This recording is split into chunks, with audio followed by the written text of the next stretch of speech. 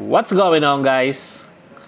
It's your boy Ajen back again for another Alchemy Stars video and for today let's talk about Azure again since she is the star of this week's update.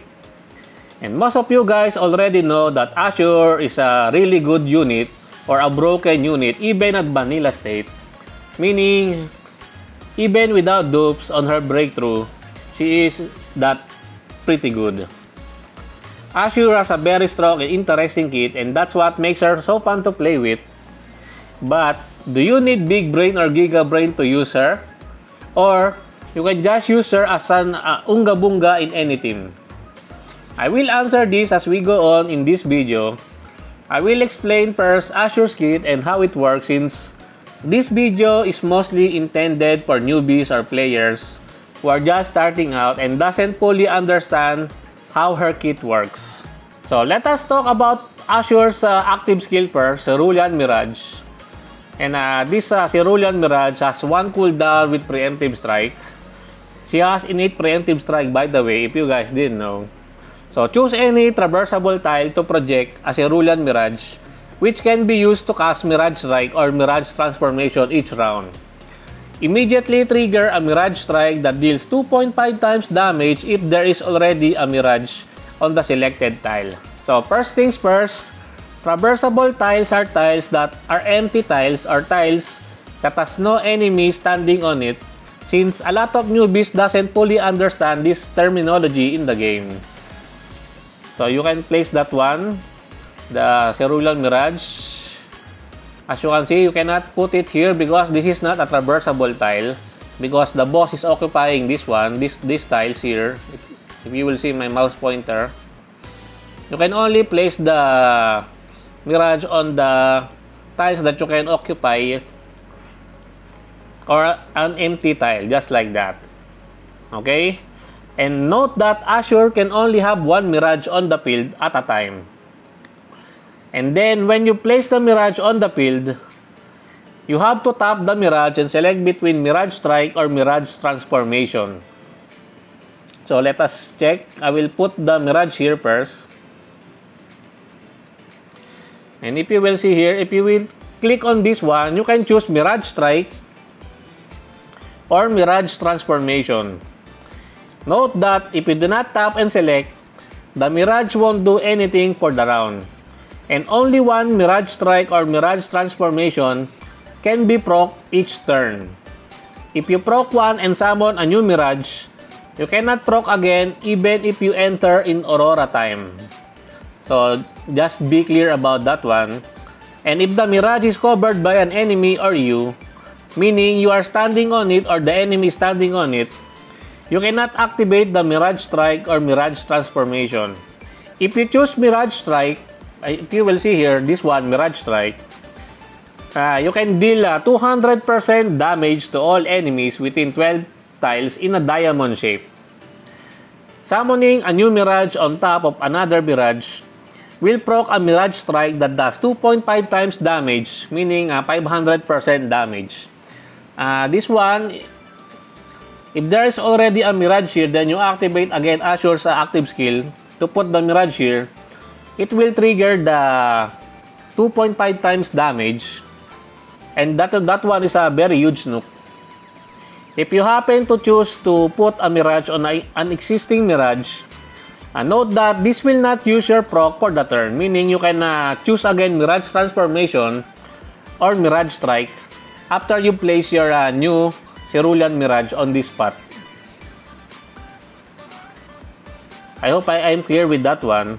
And also, if you choose this uh, Mirage Transformation, uh, this one will convert the tile under the Mirage to blue.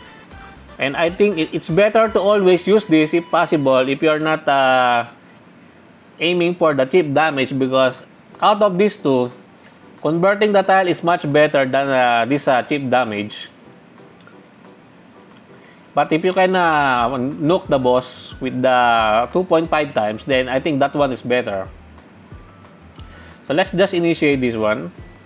See, there's a blue tile now. Now, for her chain combo,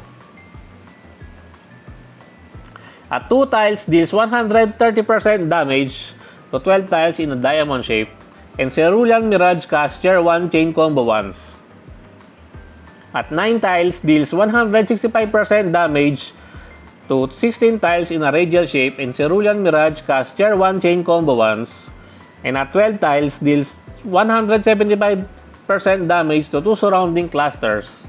And Cerulean Mirage cast Tier 1 chain combo once.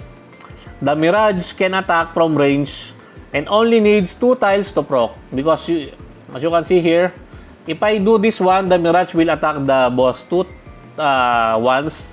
It will cast a tier 1 uh, chain combo which is pretty nice. As you can see here, just for testing. Boom! See? See those? Only the Mirage attacks the boss, right? Pretty, pretty neat, right? It's pretty broken, guys. This, this Cerulean Mirage is pretty much broken.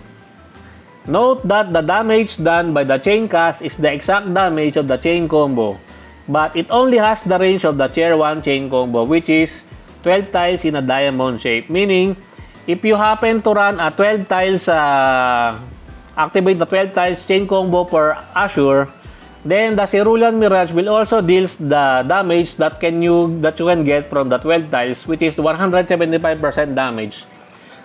Although the range is still uh, restricted to 12 tiles in a diamond shape. That is the only uh, drawback of that one, but it is not a drawback. It is still pretty, pretty OP, pretty broken. One of the best feature of Azure Cerulean Mirage is that the Mirage Tier 1 chain combo can proc from inside enemies and deal damage to its occupied tile. This means that you can hit all 4 tiles of a 2x2 and all 9 tiles of a 3x3. So if the boss uh, moves from here and the, the Cerulean Mirage enters the boss uh, tiles, it is much better to activate it because uh, it will hit all of the tiles around its range, which is pretty pretty good, pretty pretty broken. Let us now talk about Azure's equipment, Balsan Accuracy, Azure's attack is increased by 20% if within 12 tiles in a diamond shape of a Mirage. This equipment is bonker since 20% attack increase is no joke, but it comes with a restriction. You need to be in the range of the Cerulean Mirage to benefit from this. This is where big brain play starts, since you really need to carefully plan and play your route if you want to fully utilize on your equipment's boost to attack. Especially if your Azure has no dupe, you need to position yourself within the 12 tiles in a diamond shape range. It will become a bit easy to utilize this if you can grab a dupe Azure for her BT upgrade. So let us now talk about her BT upgrade. So let's just quit here first.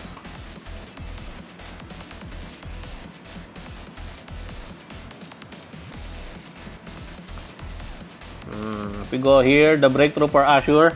As you can see here, the BT3 upgrade, uh, equipment skill enhancement, Azure's attack increases when within two surrounding clusters of a Mirage.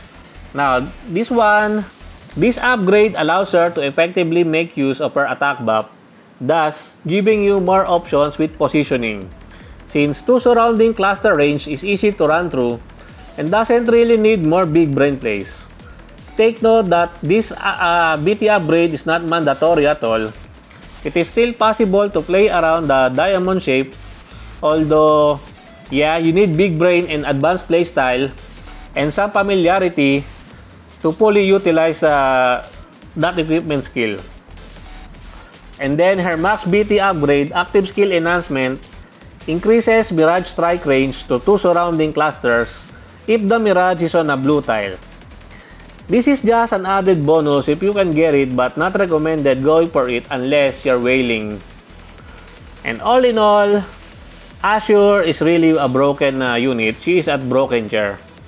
She is a mass summon in my honest opinion since you only need to get one copy of her and you're done with her. She doesn't need much investment to fully be broken and that is why she is a must-have.